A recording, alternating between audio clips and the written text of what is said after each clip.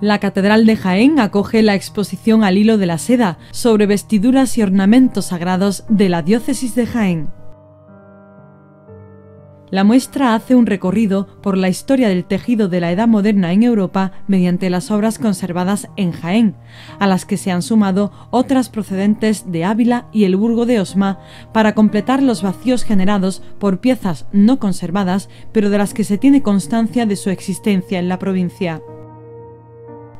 La exposición discurre a la inversa, comienza en el siglo XVIII y acaba en el XVI, puesto que hay un mayor número de ornamentos litúrgicos y vestiduras de imagen del 700 normal que los ornamentos del siglo XVIII se conserven mucho mejor que los de siglos anteriores y aparte también porque en el siglo XVIII se producen un mayor número de modas. Eh, entonces, como a finales del siglo XVII es cuando aparece el concepto de moda y aparece el concepto de nueva temporada,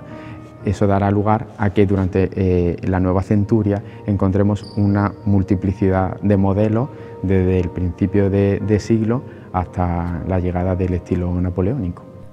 Casullas, capas, mangas procesionales, piezas de alto valor bordadas con iconografías de santos, escenas del Antiguo y Nuevo Testamento, motivos geométricos o elementos vegetales.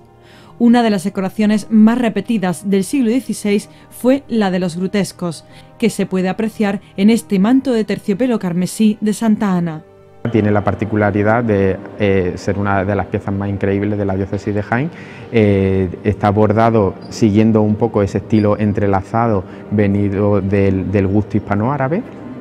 pero aparte además tiene como una serie de, decoración a candelieri a lo largo de todo el manto. La muestra es fruto de un proyecto de investigación que comenzó en 2014 con el inventario de bienes textiles de la Catedral de Jaén.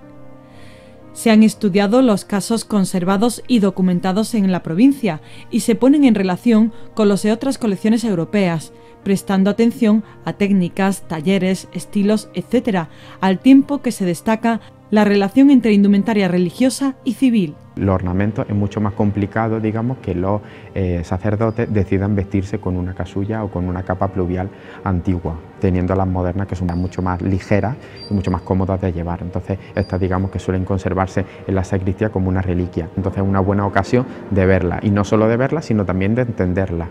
porque una cosa es eh, que te enseñen de repente una, dalmática o una casulla y otra cosa es verlas aquí, verla en comparación con indumentaria, verla en comparación con, una, con una tela utilizada para una decoración de interiores y ver que efectivamente ese mismo tejido que se utilizaba tanto para indumentaria como para decoración de interiores se emplea también por las propias medidas del ornamento litúrgico para confeccionar estas piezas. La Universidad de Jaén colabora con la Fundación Caja Rural de Jaén en el comisariado científico de esta exposición que se puede ver hasta el 16 de febrero de 2020.